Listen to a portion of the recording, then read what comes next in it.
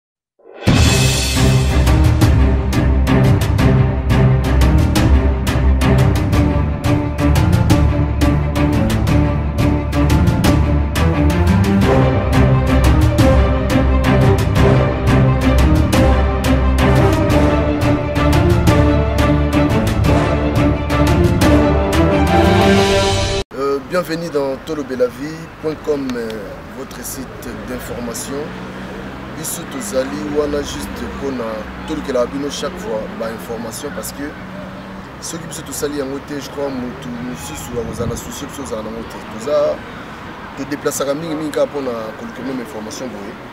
la toza na pasteur euh, marcel na pasteur marcel tomeka nanu kosolola parce que mwa makambo mpe eleki mwa mingi mikolo oyo mpe meka kosolola na pasteur marcel boni pasteur marcel bien papi game santé ça va non par la grâce de dieu eza bien ok mpasa tokotaka mbala mwa lisolo na biso mhm. concert elingaki obeta parce que namonaki mpo ozalaki olobele mpe makambo yango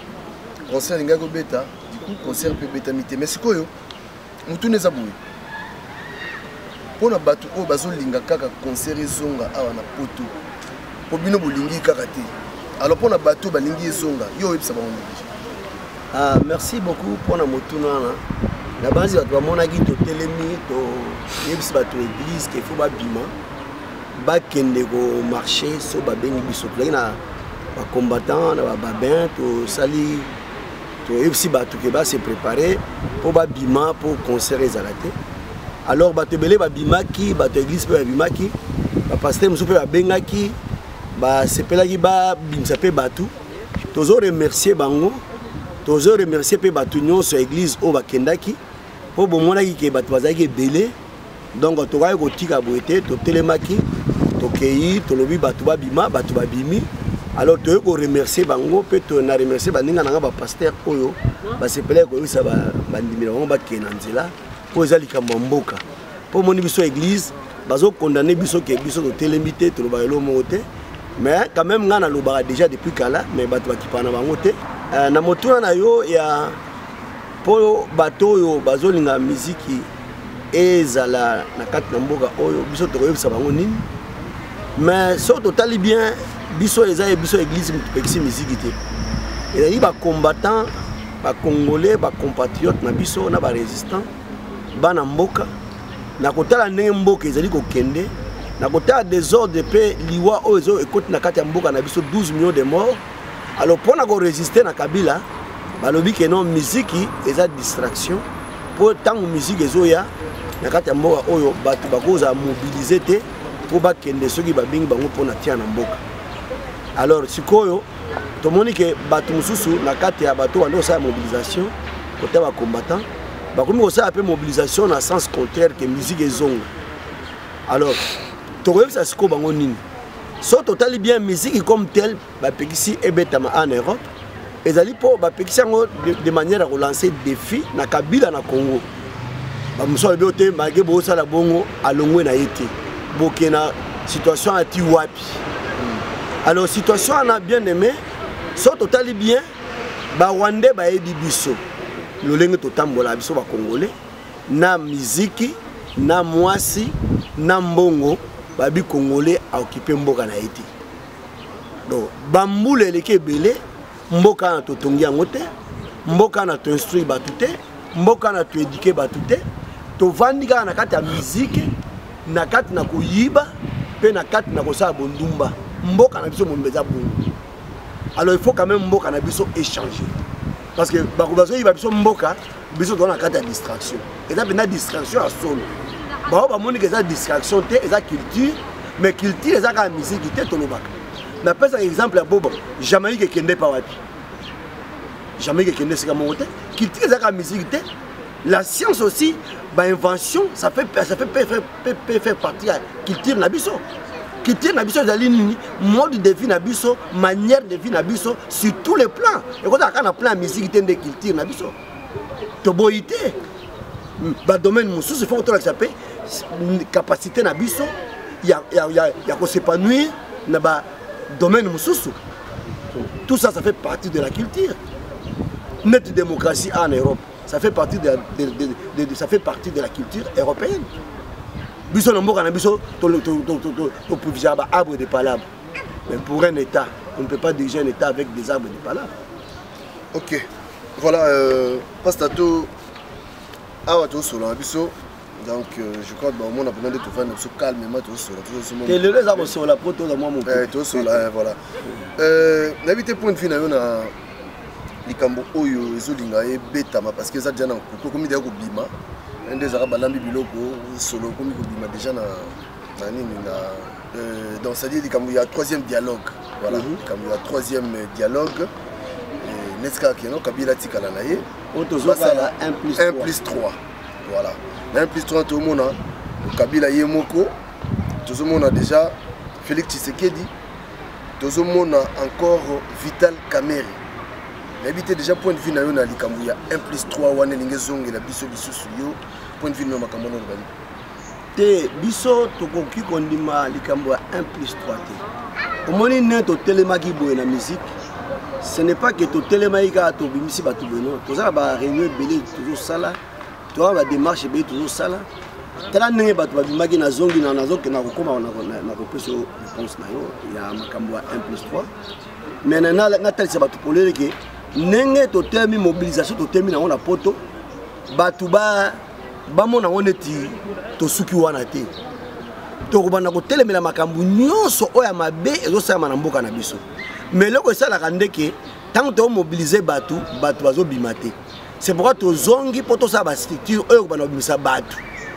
komipesa bato na kati ya nzela mpo tokenda na kotelemela makambo mosusu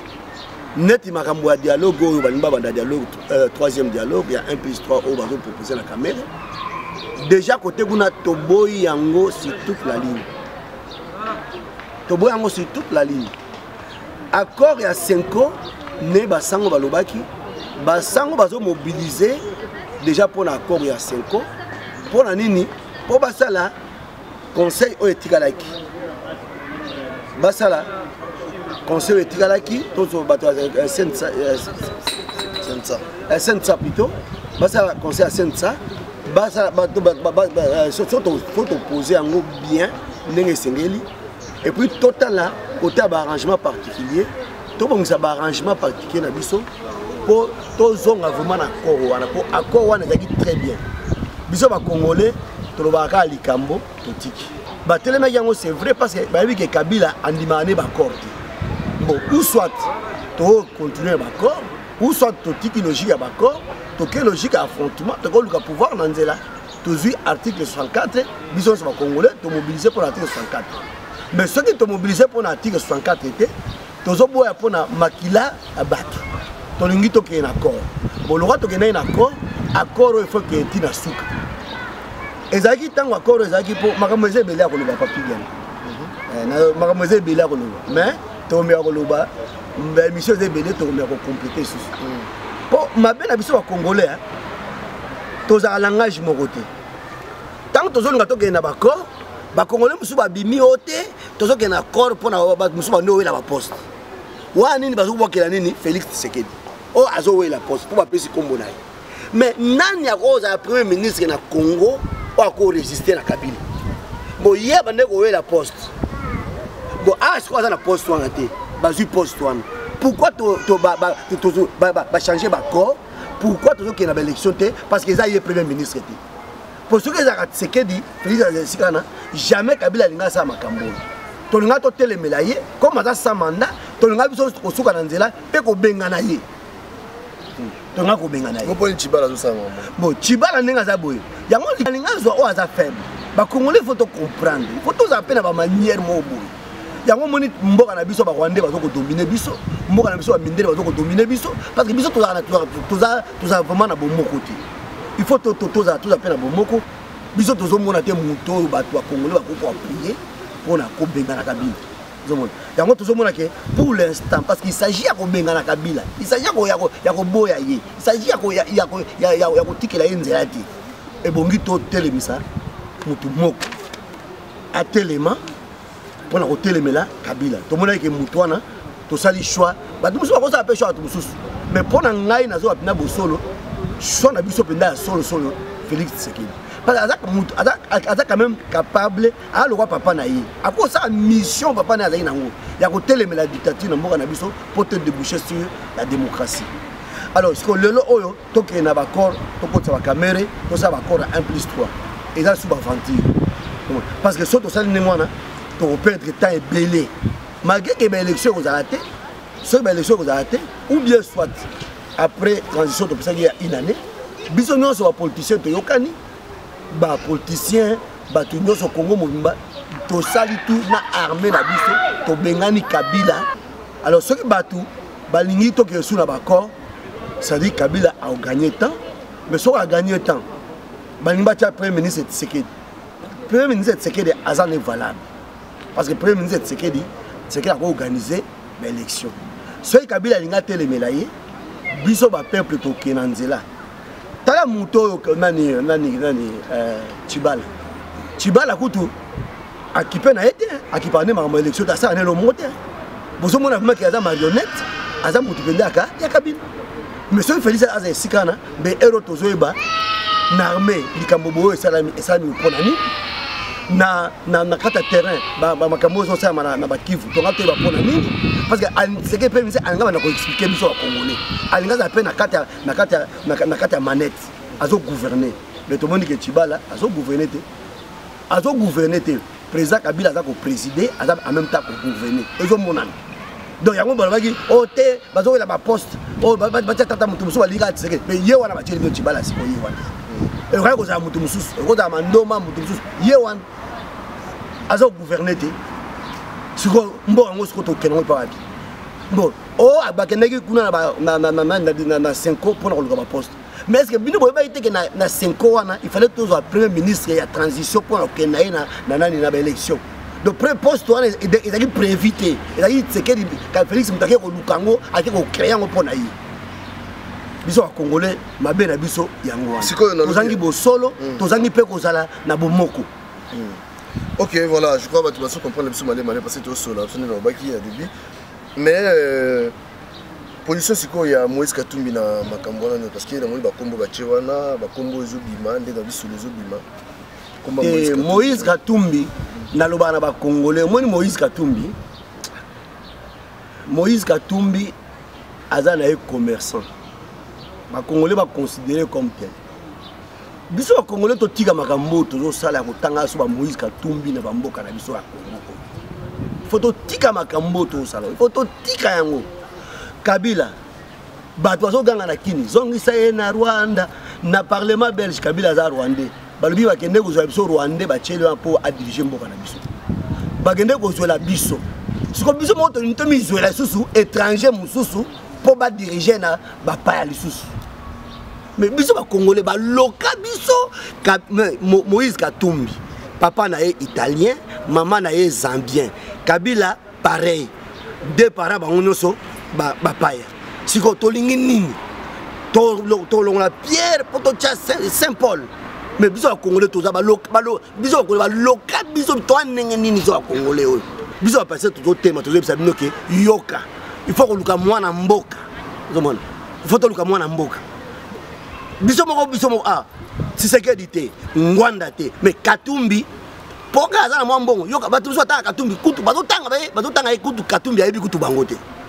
bazokende komipesa epai na ye mpo bazwa mwa limwa mwa lomeya mais biso bakongole toya ndenge nini tozobosanake mboka na biso tokoki koutilize mboka na biso mpo biso to nyonso tosarichir toko utiliser katumbi te po ayibela azwaka biso na mboka biso mike mike apesaka biso oubien kabila azwaka mike mike biso toko utiliser mboka na biso toko s'appuyer sur mboka na biso po biso nyonso ya congolais to s'enrichir parce toza na mboka moko eza riche tokoki kozwa mopaya te azwa contrat moko ya lokuta azwa mwa ndambo mboka abana korompre bato biso ya congolais toza ndenge nini toza ndenge nini biso na aloka biso nani aloka biso ba congolais katumbi akodirige congo te il ne faut pas rêver bozobengana kabila pour quelle raison bobi aza étranger mais pourquoi aller prendre encore un étranger pour le placer à la tête du pays voilà quel paradoxe c'est pas possible avec les congolais voilà wana eza motuna oyo paste atuni bino euh, batelespectateur bozolanda biso euh, pasta lelo oyo euh, na bamboka nyonso tu parce que nde nazo c'est à dire là je parle de l'armée de l'armée congolaise oyebi ke armée mpenza nde baza bato oyo parce que bango basimba manduki bango nde bino ntango tolobela article 64 etututu donc c'est à dire tolobela armée na biso mais est ce que congolais mpe akoki kozela quelque chose de bon na armée na biso parce que mikolo kaka mwa deux jours awa déjà bauti kolongola kanyama na, mhm. na l'autre là balongoli bango na bisengimana donc balongoli bango mais est ce que lelo vraiment congolais mpa kozela mwa eloko mwa c'est-à-dire mwa tozela mwa eloko moko boye na nsima ya armée na biso bon na bachangement oyo ezosalama na kati ya armée d'abord avant to nakoma na korépondre question na yo boso na bosani orapele ngai na bachangement tomoni na baposte na kati ya armée na kati mpe ya polise ezali lolenge tomonaki mobutu kochange kozwa oyo kozwa oyo kozwa oyo alors que ça nyonso oyo abandi kosala rien ne marché omoni kabila ndenge aza boye akoki kochange baposte kochange bato na armée mais kabila doit partir eza kokende ya kabila maintenant azonga na bato ba bachange kanyama na bisengimana bisengimana aza tutsi c'est le seul tutsi oyo toyebi aya na congo azalaki infiltre te abotami kuna ayaka na bisengimana le père asalaka na mobutu bisengimana akota na garde civile ntango bisengimana azali na garde civile azalaki infiltre garde civil ezalaki ya baramoto azalaki infiltre bon ntango bisengimana ake babengisi na rcd bisengimana akomi ndeni botala bien soki tobii bisengimana lelo azotravaille mpo na cause ya barwandais bisengimana azozwa baordre ya kabila parce que kabila azo travaille mpo na koza barwandais yango bisengimana akomi bongo aza tout so toyebi ke ayaka na congo azalaka na garde civile biso moko bacongolais toloba yango ntango azalaki na garde civile bisengimana azalaki infiltré ou bien azalaki occupation il faut to se poser baquestion eh ase ah, transforme boye nde nini parce que armée ezalaka na commandement oyo babengaka chef de commandant na bango suprême ye nde azosala mpo na cause ya batusi barwandais yango amoni bisengimana baponi ye batie na kati ya dispositif ya batusi mpo asala mosala wana mais so tozwi siko kanyama kanyama azali kotosa kaka mibeko azotosa mibeko azo aplike yango me mibeko ya mabe me na kati ya arme na biso toza na bato oyo sur lequel tokoki kokonte eza soldat oyo toliaka na ye oyo tolalaka na ye oyo tovandaka na ye soda atelemaka akangi mokonzi soda atelemaka abalukeli mokonzi alors biso ntango tokenari soda azozela biso tokenari parce que soda bamoni babe yango la grande muette basoda bazalaka apolitique mais bazozela biso tokita na ri so tokiti na nzela towumeli na nzela tokiti ebele basoda na biso bakoya baza prêt mpo na koya tozoyebisa bino bakuna basoda biso bakoya tokosala lolenge ya burkina faso ma ebongi kotala politike mpe omoni tozala langage moko po ntango tokosala likambo wana na mbula na fin de l'année avant bato tozo se préparer mpo na yango parce que ne kabila azokanisa kokende te kabila akokende kabila akokende ndenge basango balobi ndenge bapoliticien balobi ke kabila akokende akokende il faut tosala tout tobengana ye ndenge tozosala mobilisation awa lelo ndenge tozalaki na nzela 10 000 tozolinga biso mpe na kote ya poto tozala 10 000 ntango tokobenga bato bato nyonso bazala ebele 10 000 nino tozalaki wana so tokendaki na ambassade est ce que ambassade elingi résiste elingi résiste te alors tokosala tokosala de manière ke tobimisa bato ebele awa na poto mokolo moko to toko décider ke ba ambassade ya sute ambassade ya sute ambassade ya sute hmm. ambassade ya sute ça dit pouvoir ekwei esili na kinisa pe pouvoir ekwei mbala moko ntango mosusu tokende na conseil national toza mosu tokotya na conseil national de transition toluki to dirige mboka na biso tosala baélection sans kabili donc nde totelemi boye baeglise totelemi tozomobilise bato nyonso bino moko bomoni eloko esali ke héritier abeta te quantité ya bato tomobilisaki totelemi mpo tomobilize mais totikali nsima te mpe tofelisite bacongolais batelema na elan wana eh, biso za tosali boye tozongi tovandi te tozonga tovanda te omoni héritier alingi abeta misiki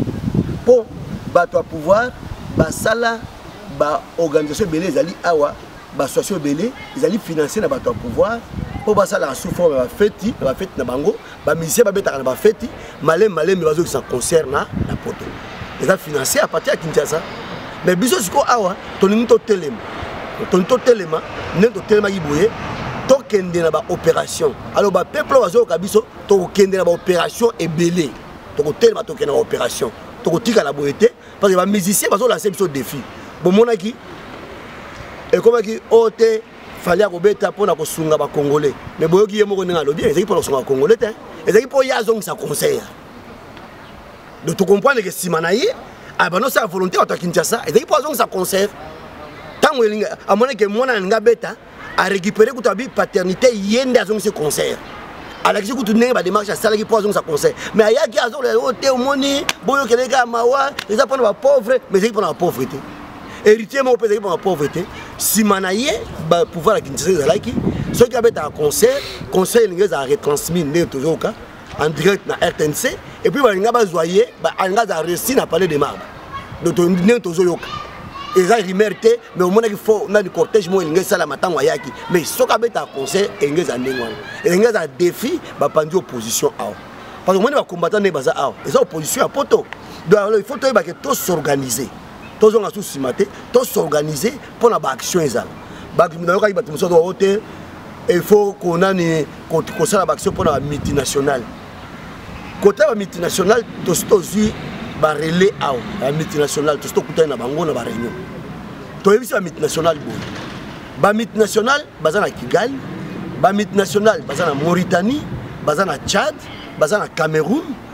ba multinationale baza na angola mais toyoki te esika moko na bamboka totangi 12 millions de mort eza boye te ba multinationale eza na bamboka wana mais toyoki 12 millions de mort te totalisi bango bien problème na biso 12 millions de mort na biso eza na motu moko aza responsable c'est le président kabila celui qui a dirigé le pays mpo tokoma na 12 millions de mort alors tozoyeba te mboka nini agrese biso unabwaba soki eza barwandais baagrese biso tomonake na rwanda azoseka soki eza baugandais baagrese biso tomonake na uganda aza koseka soki eza batanzanie so banani baye toyebi te nous sommes agressé par qui bagroupe wana eza kochange rcd m23 ezochange afd echange ti tomoni ke ezali organisation songolo ce qu'on appelle la nébuleuse ya batusi eza kofinance epuis tomoni guerre oyo ebandi na, na kivu wana mikolo oyo oyo ebandi koteko na est toyoki bakei babuki des entrepôts ya armée donc baarme na biso nde bazobundisa biso na yango mais basoda na biso bazalaka kaka ke o te toza na ba arme te badesarme biso comment rebele aye ayebi esika baentrepose ye badepot mpe abuki deux depot ya baarme mpo bazobunda na baarme na biso moko toki gouverneur apesaki alerte abi babuki baentrepot ya baarme bamisi baarme bazobundisa biso mais comment tokotika sikoyo basoda na biso bango bakoyeba esika bakozwa baarme te tolobaka te basoda na biso ifo bayeba esika baarme ezali soki tokiti na nzela tozozela appui na bango cette fois-ci tokokita na nzela te bazobeta biso masasi lokola tomonaki awa na badate mibale oyo elekaki awa kabila azobeta masasi awa oyo oh, oh, toleka awa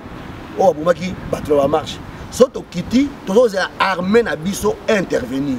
donc yango tozomona ke armée na biso faut se préparer elakisa ke non ezali armée na biso tozokonte na yango parce que barebele bake bazwi minduki esika bayebi baentrepo babuki lelo rebele bazobunda na kivu bazobunda kuna na kote ya beni na baarme na biso babuki des entrepot parce que biso bacongolais même bamédia ezoreleye makambo yango te barebele bazobunda na baarme nini na baarme na biso moko comment armée na biso ekokende kozwa esika baarme ezali te po po po po na soutenir peuple donc alors tozo senga na na commandant euh, na na commandant sikoyo batie ya armée na biso chef d'état major na biso tozo senga na ye tozo senga mpe na bato nyonso baza ba congolais kabila il faut akende tolobi te ke non il faut kaka komandoki te tolobi ke soki tokiti na nzela tolobi te ke non bokende kosala coup d'état tolobi te ke non il faut tosala guerre so tokiti na nzela na article 64 tolingi armée ezala na nsima na biso lokola na burkina faso tozoloba yango déjà bien avant avant tokóma na kokita na nzela donc banégociation mosusu ekozala te kaka oyo ezali soit rapidement balongoli chibala félix azonga esika wana mpo adirige transition tokende na baélection et puis ntango ya kozwa transition toni tomona aza na pouvoir régalien donc baarrangement particulier il faut bazongela esika wana yango tozoyebisa banani baabe ya senko baza d'accord il faut bazongela baarrangement particulier bazongela baarrangement particulier mpo na partage ya pouvoir en ce qui concerne le pouvoir régalien ya mboka na biso alors premier ministre aza mpe na pouvoir à regagner mpo agouverner ya solosolo ezala lokola cibala oyo aza étiquette wana ok voilà euh, tokomi na suka pasta nayebi te mwa liloba ya suka nalingaka leo osukisaka wana tosukisa ndenge osukisaka mpona te bato ebele bazoyebisa nga pasteur combattant ozoloba très bien eh, moto wana efo akende te kabila nalobelaka ye pamba te parce que ne tozoba boye alandaka mpe donc na mutu na ye nayebi te eloko nini ezolekana kuna mais ngai nazoyebisa boye kabila tu va partir nazopesa exemple kaka ya mobutu eza exemple ya congo nazopesa exemple ya angola te ou bien exemple ya rwanda te biso toza bacongolais